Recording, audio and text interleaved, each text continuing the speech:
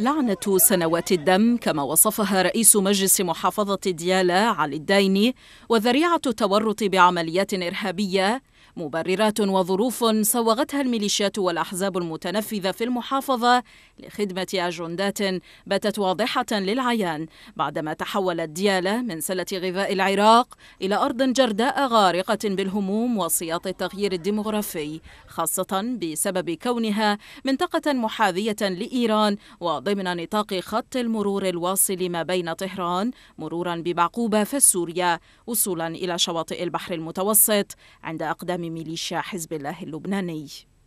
سنوات الدم وما وكبتها من أحداث في إشارة إلى الأعوام ما بين 2006 و2009 باتت تلاحق مزارعي ديالا وتهدد بخطف مصادر رزقهم أمام معضلة برزت في الأشهر القليلة الماضية بعد مطالبة السلطات بتجديد عقودهم الزراعية والتي تتضمن ضرورة توفر ما سمي بالتزكية الأمنية لهم. رئيس مجلس ديالا علي الدايني أكد أن الدوائر الأمنية في المحافظة تعتمد على معلومات غير محدثة منذ عدة سنوات وهي مليئة بالدعوى الكيدية اعتمادا على تقارير المخبر السري. لافتا إلى أن تلك المعلومات ستؤدي إلى إلغاء العقد الزراعي لوجود مؤشر أمني وبالتالي هو ليس استهدافا لمصدر رزق المزارعين فحسب بل ضرب للأمن الغذائي للبلاد.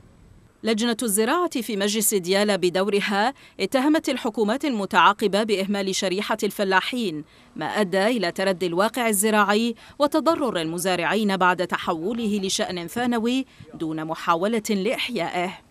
اللجنة الزراعية كادت أن 95% من الإنتاج الزراعي الذي كانت تصدره ديالا لباقي المحافظات وخارج البلد انتهى بفعل تداعيات العمليات العسكرية والنزوح وعدم وجود الدعم للفلاح فضلا عن الحدود المفتوحة أمام المستورد.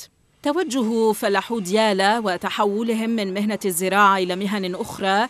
بعد هجرتهم نحو المدينة لم يأتي من فراغ إنما يكاد أن يكون ضمن عمل وبرنامج ممنهج يستهدف الدولة شعبا وأرضا وكيانا.